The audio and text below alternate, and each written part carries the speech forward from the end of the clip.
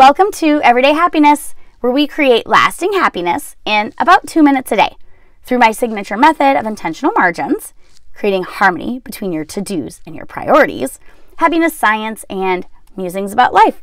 I'm your host, Katie Jefcoat, and today I want to talk about a new trend I recently learned of called quiet quitting from the publication Very Well Mind.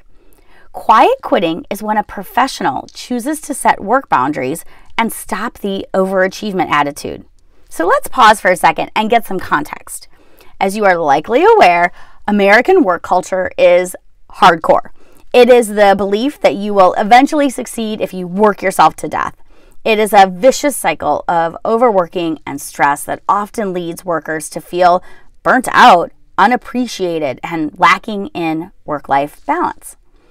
While this attitude has been the most common over the past few decades, we're seeing a substantial shift. This concept of quiet quitting is especially popular for Gen Z and millennial professionals. Unlike their parents and generations before them, they reject overachievement and the constant abuse of the busy badge. Instead, these younger professionals hold human centered values like compassion, self development, happiness, and social connections over materialism and wealth. Rather than wanting bigger and better in terms of housing, cars, and clothes, they generally are more focused on experiences, sustainable living, and creating happy memories. So, what does quiet quitting entail? No, they are not actually quitting their jobs. Rather, they are saying no to tasks outside of their job description not replying to work communication outside of working hours, arriving to and from work on time rather than arriving early or leaving late, being less emotionally invested in their projects and company in hopes of a promotion. So, as you can see, these changes are not necessarily unreasonable.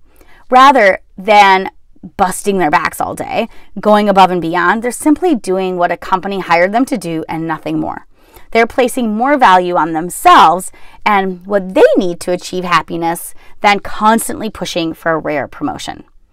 I recognize that there are mixed feelings about this trend, especially older generations like me who feel like these young workers are maybe being lazy. They're not. Of course, they're not being lazy. However, I encourage you to step outside of the American work culture mindset. In many places around the world, such as in Europe, the work mentality is work to live, unlike our live to work. They focus on social connections and positive experiences and a healthy work life balance to promote longevity and happiness. They remain just as successful as us, but their rates of satisfaction are just much higher than ours. Whether this trend will continue is yet to be seen. I believe when we set realistic boundaries at work, we actually succeed more, become more productive, and have a healthier flow and balance with two competing interests for our time work and non work. This could be a positive change that will teach new generations about setting boundaries, appropriate work methods, and intentional margins. So, today, how are you setting yourself up for success? Do you have boundaries on your time or your commitments? I invite you to take 15 minutes this morning, an intentional margin, and write your top three things that you absolutely will accomplish today at work, no matter what. And then do those first. So at the end of the day, you know you'll have some wins. Tag me at Everyday Happiness with Katie. Show me your sticky note or your planner page of your top three.